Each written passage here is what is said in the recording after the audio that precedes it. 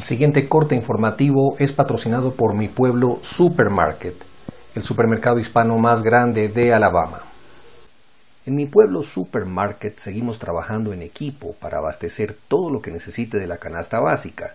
Ordene su comida para llevar, de 8 de la mañana a 5 de la tarde. Llame al 205-878-8889 en Homewood o al 205-685-1446 en Pelham. Nuestro horario de atención continúa de 7 de la mañana a 9 de la noche. Aceptamos food stamps. Recuerde, mi pueblo Supermarket, el supermercado hispano más grande de Alabama.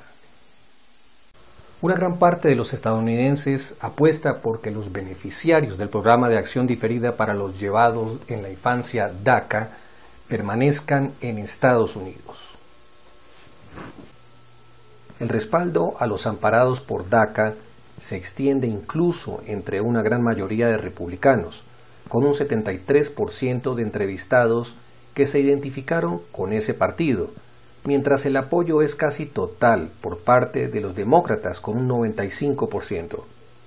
El fallo de los nueve jueces de la Corte Suprema sobre el fin o permanencia de la protección de DACA puede ser divulgado en cualquier momento antes que acabe este mes.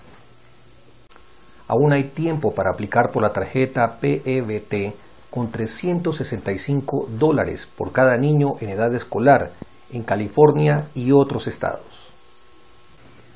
A mediados de mayo, el Departamento de Servicios Sociales de California presentó un programa llamado Pandemic Electronic Benefit Transfer, el cual otorga fondos de hasta 365 dólares por niño en edad escolar.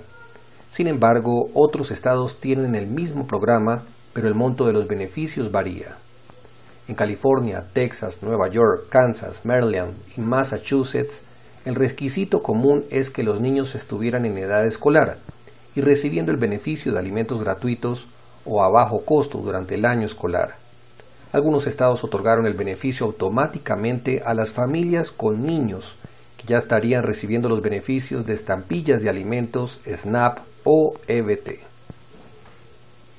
Houston y sus alrededores amanecieron con una advertencia de calor que estuvo vigente desde el mediodía hasta las 7 de la noche de este martes.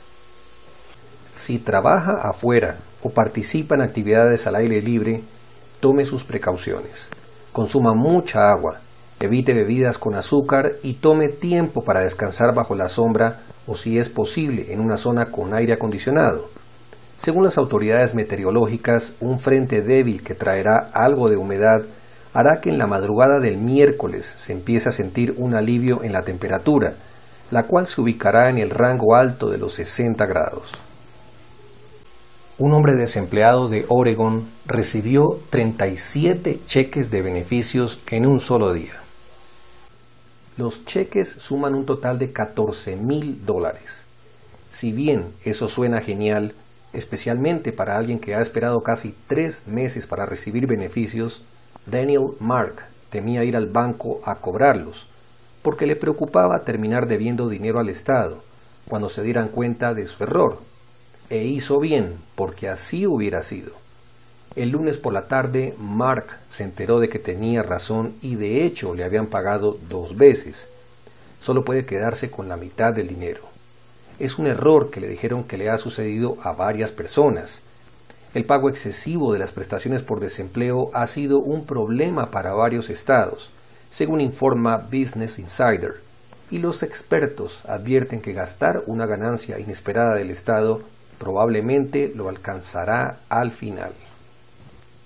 Continúen pendientes de nuestros siguientes cortes informativos, donde estaremos compartiéndoles más información. Hasta pronto.